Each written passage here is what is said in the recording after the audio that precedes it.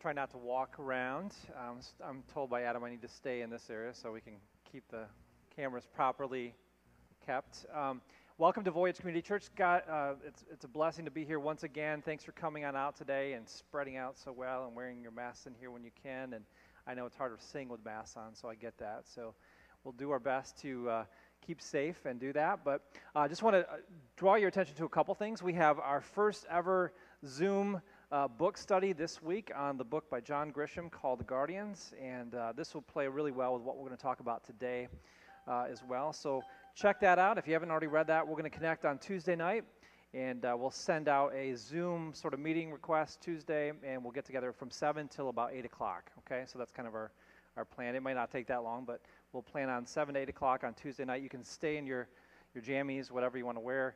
Um, but uh, you don't have to come here to church to do that. So that's coming up very soon. Also, on Wednesday nights, uh, from 3 o'clock till about 8 or 9 o'clock, we're going to be here at the church painting.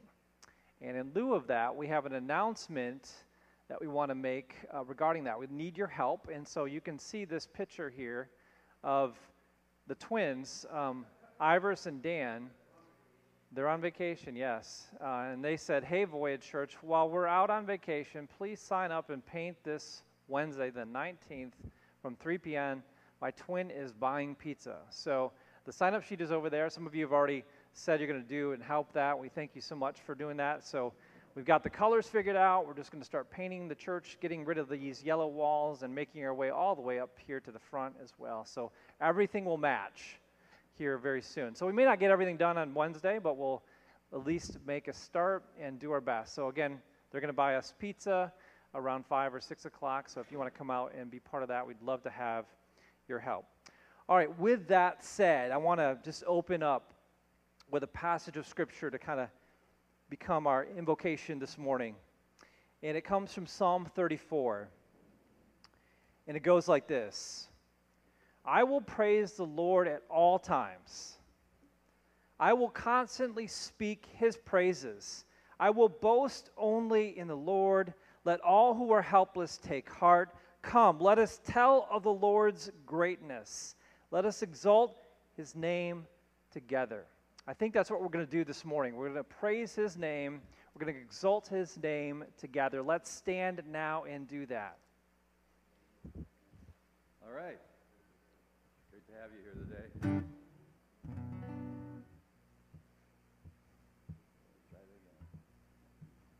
Let everything that has breath praise the Lord,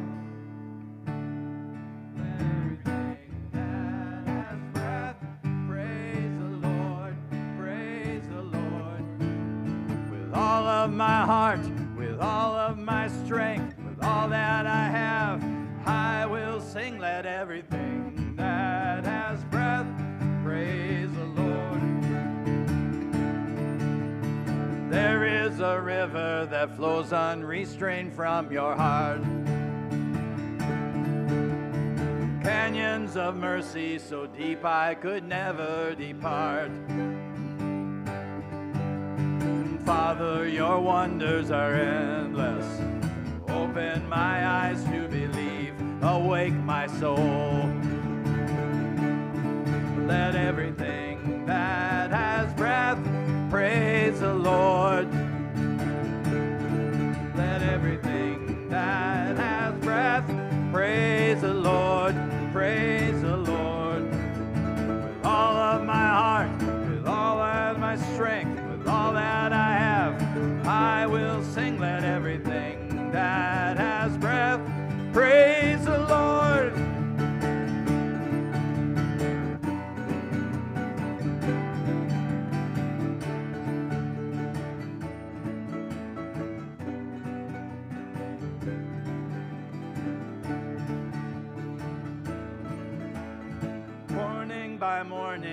faithfulness shines like the sun. Heavens on fire, alive with the brilliance of love. Father, your wonders are endless. Open my eyes to believe, awake my soul. Let everything that has breath praise the Lord.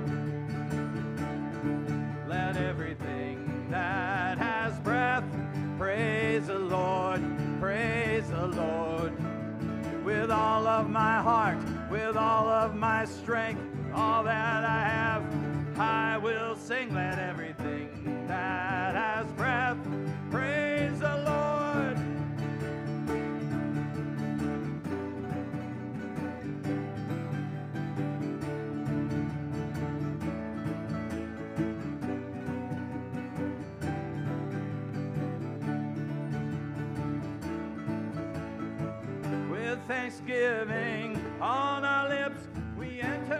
courts today.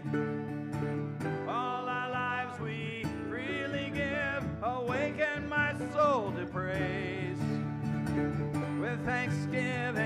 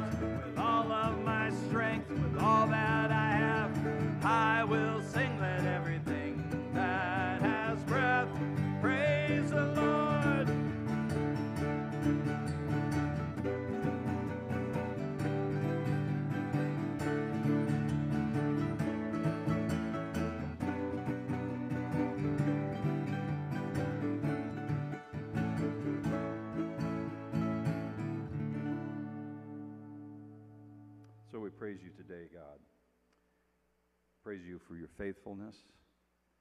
Praise you for your kindness, for your mercy, for your grace, for your beauty, for all that you have done. We praise you that you're with us right now, that you care about us in all of your strength and glory and majesty. You love us, and you've sacrificed greatly to be with us. So we praise you for all of those things. Thank you for your spirit that you send to minister to us daily, to show us the way, to give us light, to comfort us in times of sorrow and in times of, of trouble. So we praise you for all those things, and we want to do that daily, as your word says, not just today together, but all time at all times. So we thank you. Amen.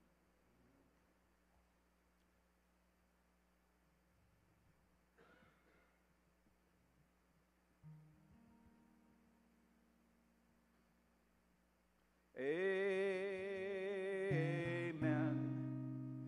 Amen. Amen. Amen.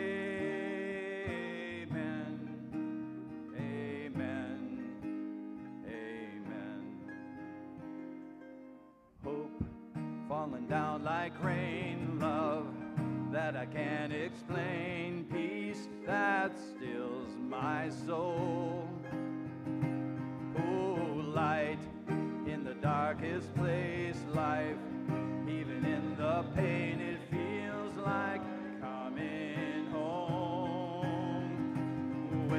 Spirit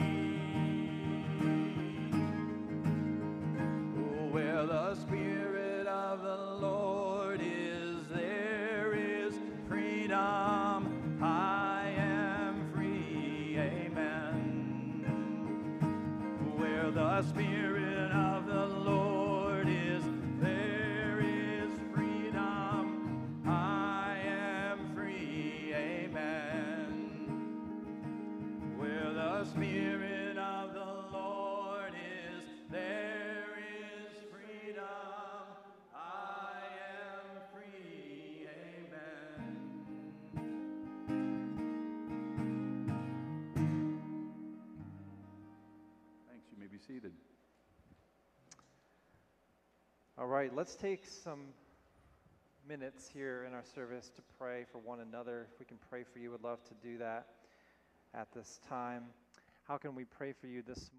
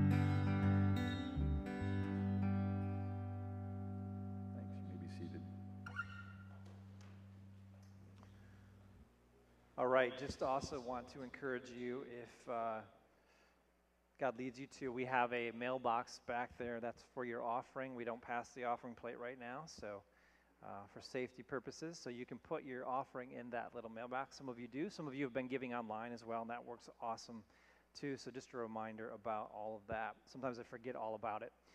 All right. Um,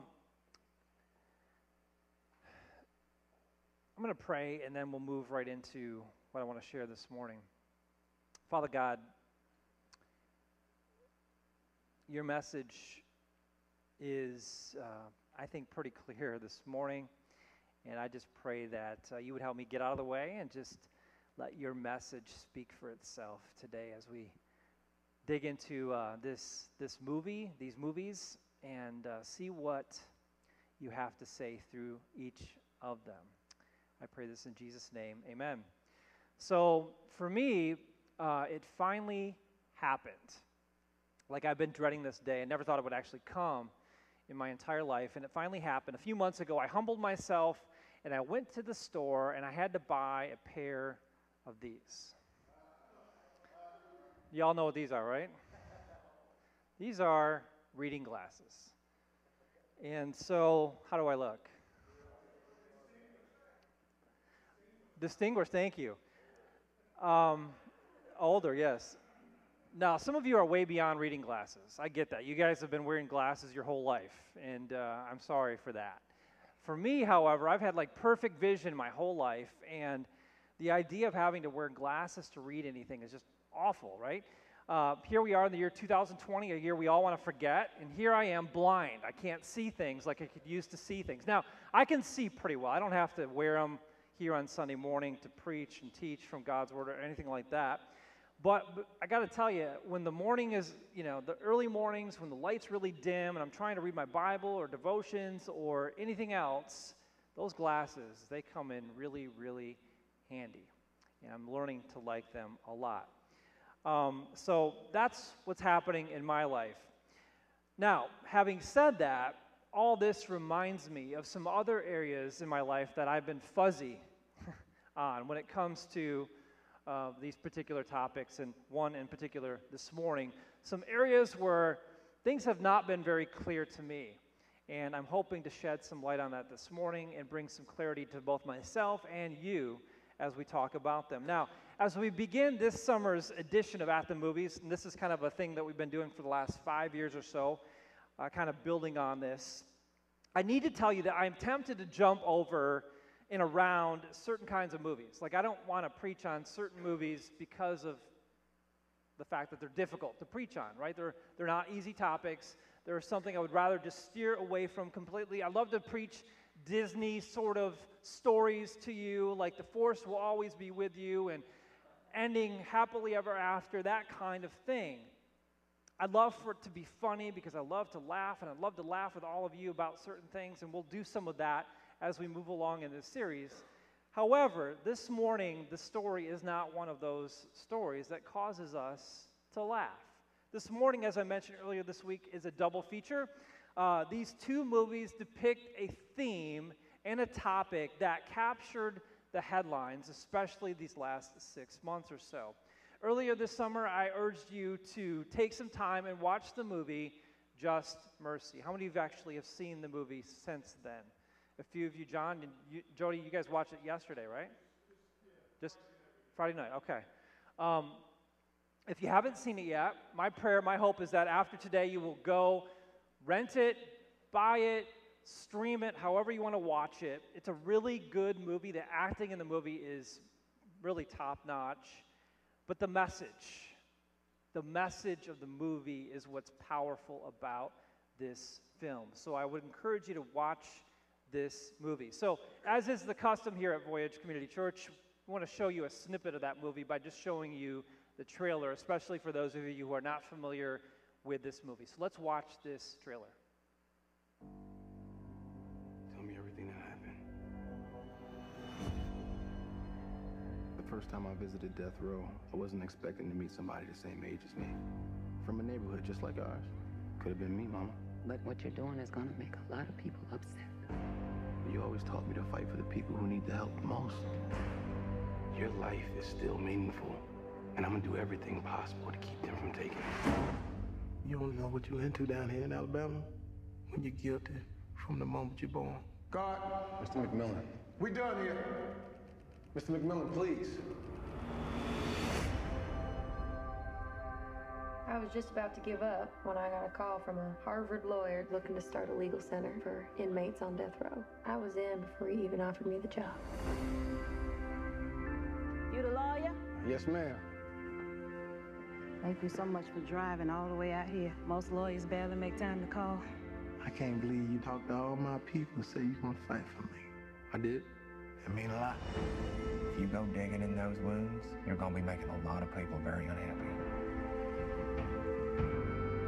When people care about a thing that much, they'll do anything to get what they want.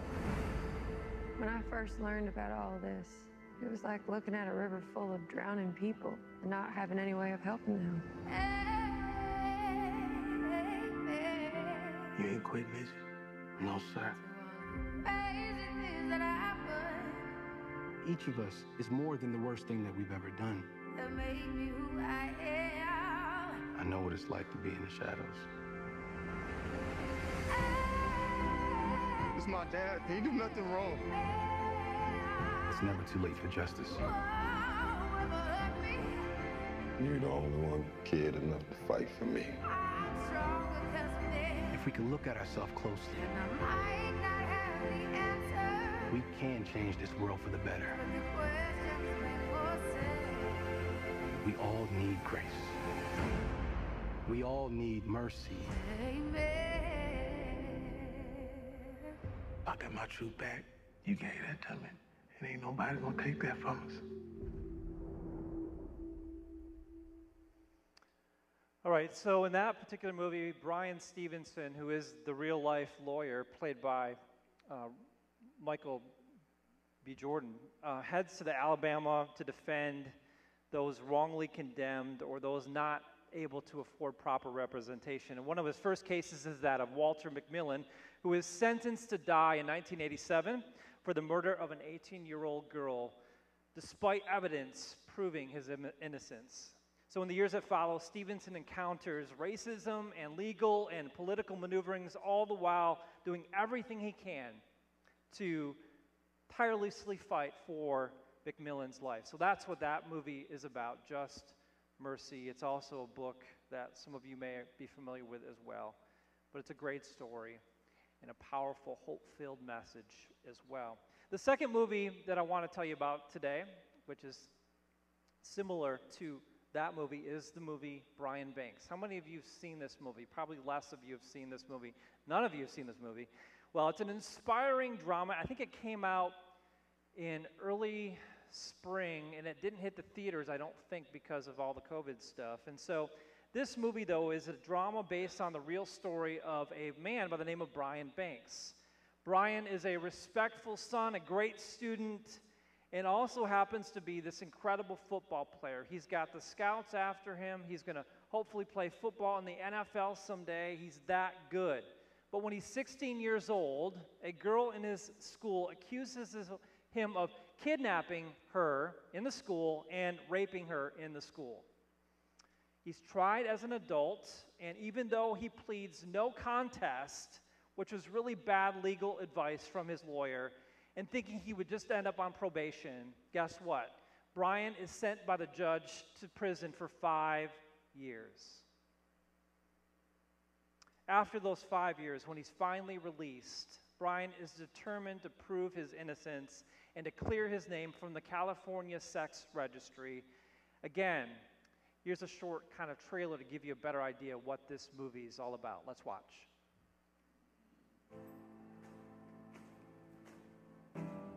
Boyhood dreams got no place in a man's life. You need to concentrate on getting employed. Forget about football.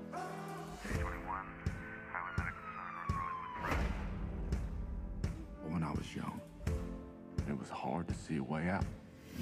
Football gave me an option. Time I was 16, I had the attention of the NFL. The sky is the limit for this kid. So what happened? Why don't you play anymore? Brian Banks was 16 years old when he was accused of a crime he did not commit. He lost 11 years, scholarship. He was prevented from playing football. The system is broken. We have 10 months to clear his name. If in that time they do not overturn your conviction, you'll be a prisoner again. I need something big, something extraordinary. It's extraordinary that I'm still here. I'm still standing. Yeah. You ever been locked up? It nearly killed me. How did you survive it? Almost did. Then I met a man who showed me a different way. All you can control in life is how you respond to life. I know what I have to do now. My son is innocent! They tried to count me out. You think you'll get another shot at the NFL? Trust me, we got a plan. I am innocent, and the truth matters. I know the system doesn't care about me. But you didn't deserve what happened to you. Brian's gonna run out of time. I'll tell you what's extraordinary. I am.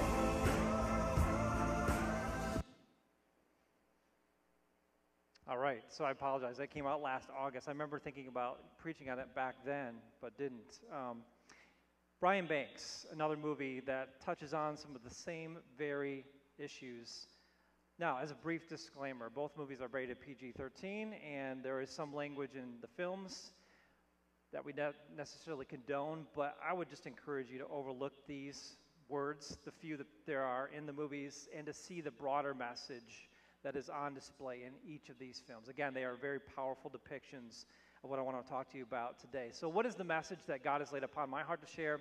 Here's what God has laid upon my heart to make you aware of this morning.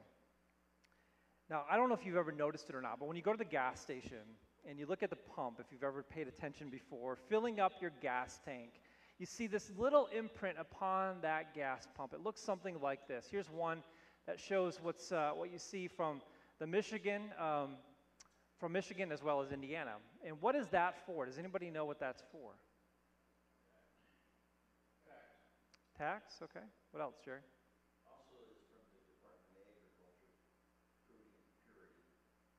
Okay. There you go. Anybody else? You guys are, yeah, you guys are right on. Um, it's there to assure us, though, those things, but also that the pump is working correctly, right? That the weights and measures of the pump is working correctly. It's there to remind us that the Michigan Department of Agriculture is holding that gas station accountable, right? That's why it's there. Here's something else that I think we recognize. Some of you may have already noticed this. What is this? This is an antique. What is this? It's a food scale, right? And so Shane was joking this morning that he was going to, I, I was going to weigh his coffee. Um, um, why do we need one of these?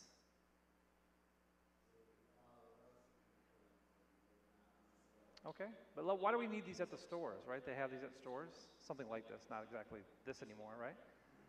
So that we pay the right price for the what? Bananas, right? They weigh the, do they still weigh bananas? Yes. So they, you want to uh, have the right price be um, what you get charged for at the grocery store. And so if it's not the right price, if it's the wrong sort of scale, if the scale is tainted in any sort of way, what happens?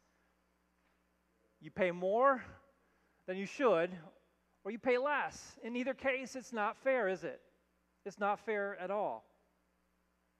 And yet, has been fairly made clear to me these last few months this very thing, injustice by means of unfair weights, unequal measures, is still happening every single day. Now, here's the thing here's my heart this morning. Please hear me. This is not based on scientific study of any sort. I did not interview any of you or anything like that. But let me just say this I have a pretty good grasp of who you are. I know most of you very, pretty well.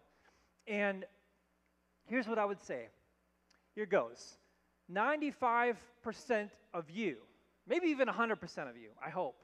That would be awesome. 100% of you are not racist. I hope you're happy to hear that. 95 to 100% of you are not racist. Now, the word racist or racism is a difficult word to define. It's changed over the course of history. But when I mean racism, what am I talking about? I mean like hatred towards somebody of another race. Okay, there's prejudice and all that kind of stuff in there, and I think a lot of us are prejudiced. We want to be around people just like us. I get that. But I'm talking about hatred towards another race. Let me say it again 95 to 100% of you are not racist. So, for me to preach a sermon on racism, I think would be a waste of time. Why do I know this? How do I know this? Because I've seen some of you welcome the Hispanic person who walked into the church. I've seen some of you welcome the black man or the black woman walk through the doors of this church. Doesn't happen always or often, but it does happen. I've seen it and I see how you warmly greet them and love on them just like they're anybody else. So, preaching a message of racism or against racism in this church would be a complete, I think, waste of time. That would be like preaching to the choir, you might say.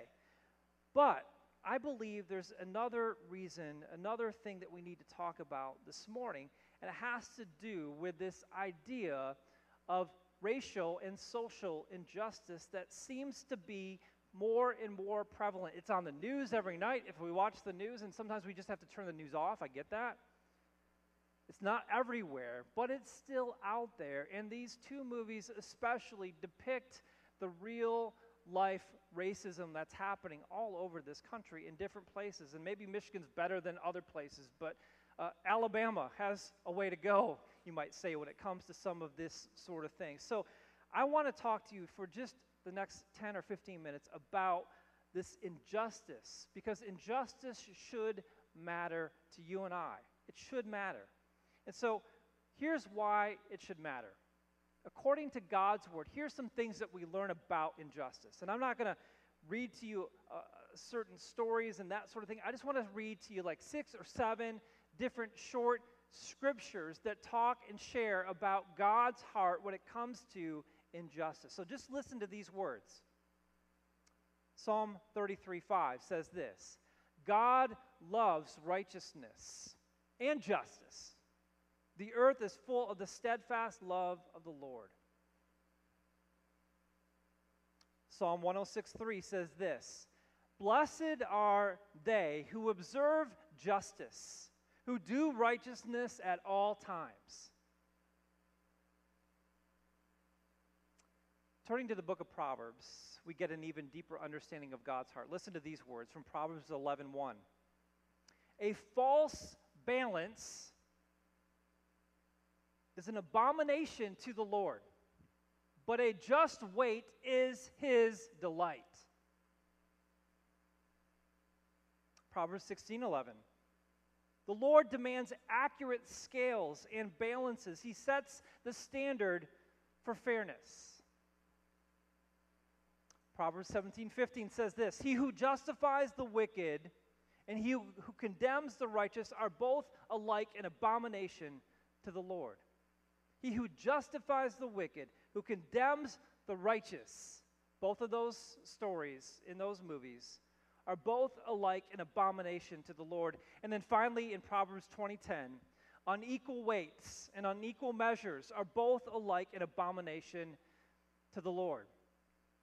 So, while just offering a brief survey of God's word, I think we have a pretty clear message here.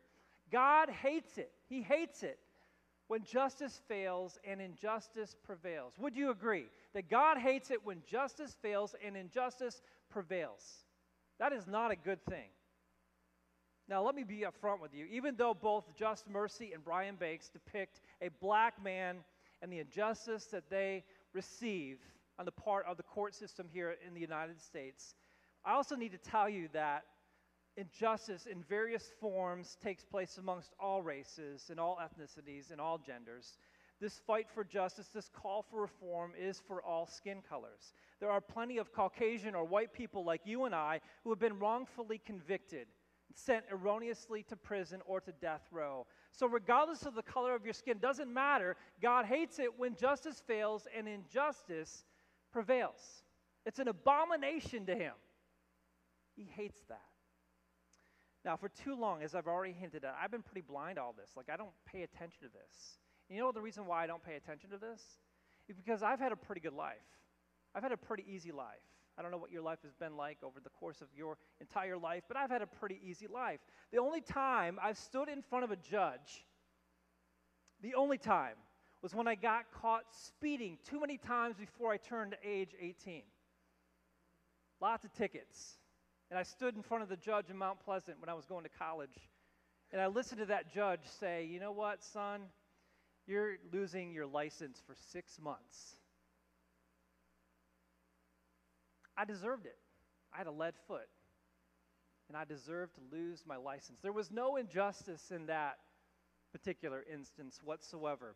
Well, a few months ago, in that video that I wanted you to watch, probably back in May, um, I urge you to listen to the words of T.D. Jakes, who is a very prominent black preacher from the Potter's House down in Dallas, Texas. You've certainly seen him before on TV, I'm sure of it, if you've not listened to him before. But in that message that he shares, a back and forth kind of interview, um, I was struck by several things that he said in that video, and I wish we had time to watch all of it. We don't, but I picked out four minutes so, kind of a heavy, video heavy morning for us. But I want you to watch these next four minutes and pay attention to what T.D. Jakes says about some of the injustices and what we as white people can actually do about it. So the person interviewing him is Carl Lentz, who is a pastor of Hillsong Church in New York City, and he does a great job in this interview throughout. But he's a white guy, like we are. And he says, What can we white people do to help fight the injustices that you, as a black person, not everywhere, but in some parts of our country, who are discriminated against because of the color of their skin? So I want you to watch this for four minutes. Watch these words in this interview with T.D. Jakes. Let me tell you what you can't do. We don't need another foot washing ceremony. My feet are clean. We don't. We're not trying to get you to come wash our feet. You know, we have had all of those ceremonies to the point, you know, that I feel like I got a manicure when I go to church. we don't. funny. We don't. We don't need that. We we we don't. We don't even need you to feel guilty or ashamed for a history that it wasn't you. That's not the point. Yeah. That's not the point. You you weren't the, the people that were singing above the slaves. And you can't help what your ancestors did no more than I can help what mine did. That's not that's not what I'm after.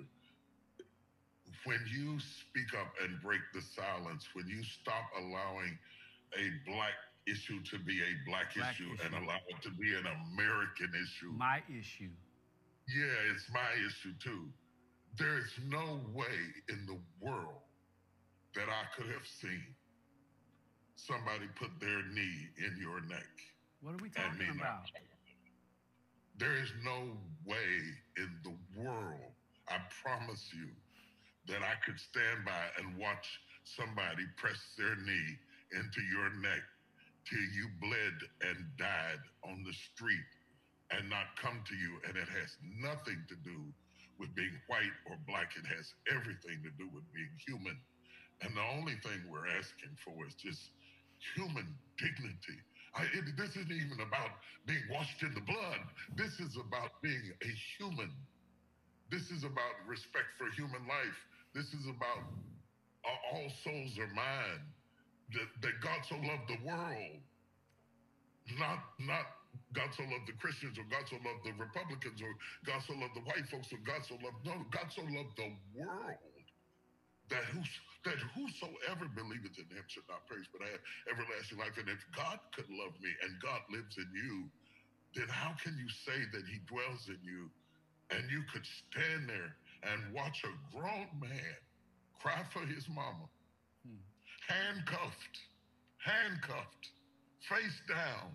You can't say this time, I feared for my life. Four police officers standing around doing absolutely nothing. The man is handcuffed like a hog. And you press your knee with your body weight into my neck till you crush me. And I'm crying for my mother. Hmm. We should all be ashamed. We should, we should, we should all be uncomfortable. We should all be horrified. It is atrocious. What you can do i- i- is, is it, it starts with speaking out and speaking to the elected officials and letting no, no longer letting it be said that the black community is upset. Right, right in my peripheral view, I can see the news uh, uh, uh, above my screen, and, and they've got all of these black people up there because they bring black people in when black people die, and black people talk about it like it's a black person's issue. That as long as we got that, we got a problem. It ought to be a human issue. I, I sent I sent all kinds of food to South America to feed uh, people in Venezuela, and I can't even speak Spanish, but they were hungry, Yeah. and I had some money, Yeah. and we sent food, all kinds of food to feed them. Uh, I dug wells in Kenya. and I, I'm not I'm not Kenyan, but they didn't have any water. They were thirsty. We helped in in in, in after Katrina, pulling black bodies and white bodies out of the flood, irrespective to who they were. They're just people. A- And I just what you can do is love better. And what you can do is speak up for God's sake. Say something, write somebody, protest. Do whatever you can do with whatever you can do. And then on a, on a smaller level, social justice isn't just carrying signs and picketing. Though I have to say this, I have to say that in Charlottesville, it was such an amazing thing that none of the press said anything about that it wasn't just black folks marching in Charlottesville, it was white folks marching too. Our kids need to see you care about us.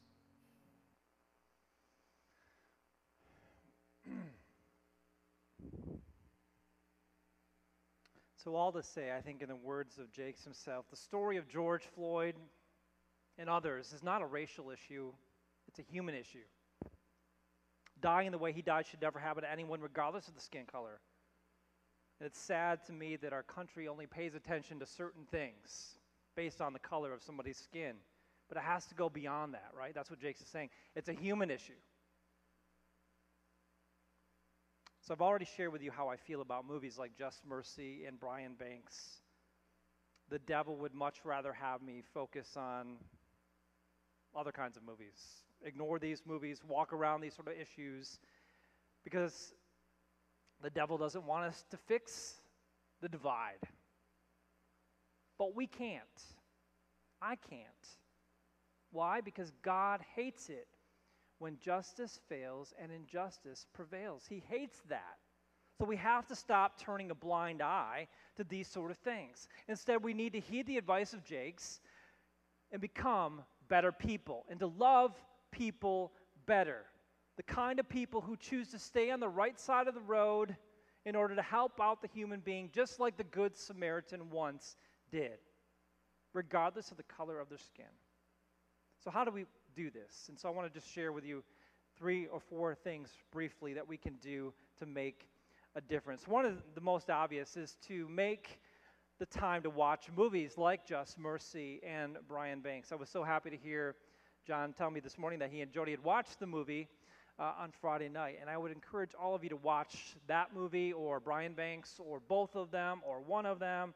Because when we make these sort of movies a regular diet to our other media that we take in on a regular basis, it changes us. In some measure, it changes us. You cannot watch a movie like these two movies and not be changed. It will change your heart. Now, John, I want to embarrass you, but what did you say to me in the first service, or before the first service? You said, what?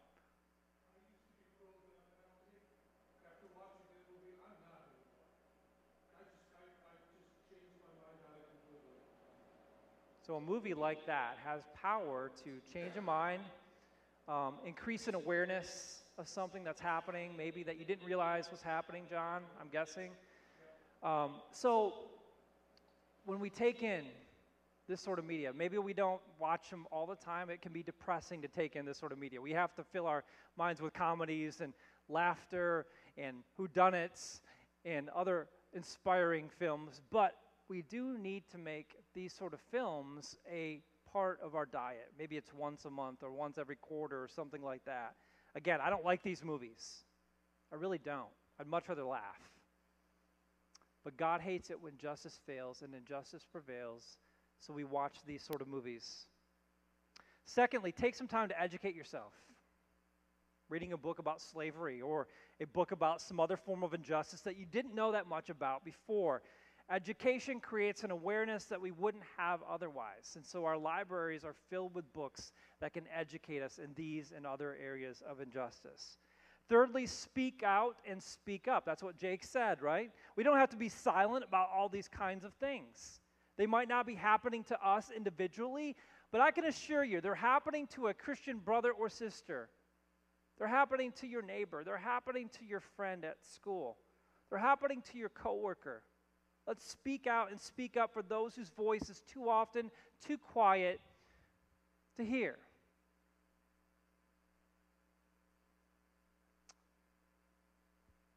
Fourthly, perhaps I think even more importantly, let's put our money where our mouth is. Let's prayerfully consider, prayerfully consider donating money or time to a social justice organization. Because here's the deal. Here's the deal. In the American criminal justice system, wealth, not culpability, shapes outcomes. I don't know if you agree with me on that, but I think one of the most famous examples of this involves my childhood hero, O.J. Simpson. Love O.J., love the juice. And I wish, well, anyway, won't go there. But OJ, if you remember the story, some of you may remember the story, some of you may not, but he hired the dream team of lawyers, right? You remember this? Johnnie Cochran, Robert Shapiro, Kardashian, um, uh, I can't think of all the guys. He had like five or six top notch lawyers. And I got to tell you, there is no way the juice gets off without them. You agree with me or not? I mean, he had some great lawyers. Not everybody has those lawyers, right? Wealth determines how easily you get off in certain cases. So, organizations like Bryan Stevenson's The Equal Justice Initiative, the one that got Walter McMillian off in the movie Just Mercy, that's a real organization that you can donate money to if you wanted to, because they need money to help fund the legal costs of getting these people off. Also, in the book, uh, the, uh, the Guardians by John Grisham, at the very end, he shares the inspiration for this book. It's a fictional book, but it's based largely on a real life organization called the Centurions. And you can donate to that particular ministry. It's a ministry, it's a nonprofit that needs money to be able to go and help people get off death row who've been put there. And so we can donate our time, our money to organizations that hate the injustice as much as God hates it. So do your research. Those are a couple of them the EJI, the Equal Justice Initiative, and the Centurion uh, Ministries is another one. Do your research, find one of those, and maybe consider, you know, we send money to kids overseas. My wife and I support two different children through World Vision, and that's awesome. Nothing wrong with that. But what about supporting an organization like this? It seeks the heart of God by seeking after justice. So, as God's image bearers, our heart should break for the very kinds of things that break God's heart. And if anything breaks God's heart, it's when the scales of this world are out of whack and injustice is allowed to win the day. This should not happen. It happens. It's sad that it happens. And movies like this make us aware that they're happening on a regular basis. So we can do our part. We can be- become a bigger part of the change that we want to see happen. My prayer for you is that you would be impacted by these movies, that you would be impacted by a book by John Grisham, that you would be impacted by what I've said and shared from God's Word about God's heart and what makes Him angry, what He considers an abomination. That's my prayer for all of us, that we would be impacted to do something. Let's pray for that today. Father God, change our hearts. Let us not turn a blind eye to injustice, whether it's involving a black man or a black woman or a white man or a white woman. It doesn't matter. We got to get beyond the color of a people's skin and see this as human, a human issue. God, help us to be awakened to the change that we want to see happen. Help us to do something. I pray this in Jesus' name. Amen. Your benediction is from 1 Peter 3:12. Peter writes, "The eyes of the Lord watch over those who do right. The eyes of the Lord watch over those who do right, and his ears are open to their prayers. God bless you guys. Thank you so much for being here today and listening so well. And uh, may God bless you this week. Have a great, great week. We'll be back with another movie next week. See you then.